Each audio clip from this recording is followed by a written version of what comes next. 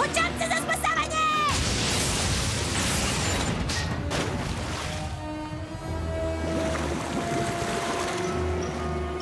I odoše čamci. To je bio poseban udar munje.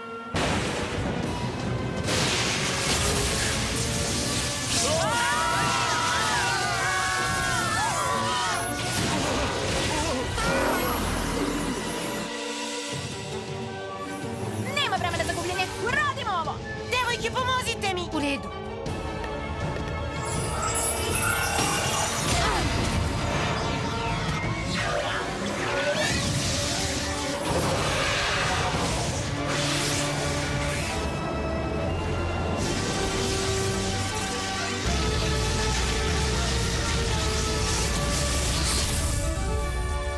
Vremenska prognoza? Sunčano. Mestimično sjajno. Ne mogu da verujem koliko je to bilo lako. Mislim da smo naučili jednu važnu lekciju. Naučila sam da ne moramo da tražimo nevolju. Samo treba da budemo tu jedna za drugu kad nas ona snađe. Ali ipak, da ti nisi pobegla, ne bismo sada mogli da spasimo naše drugarice. Sve je to deo plana.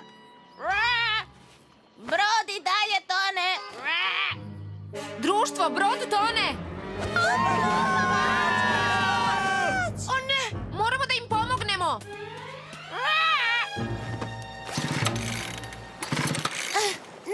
desculpa ali.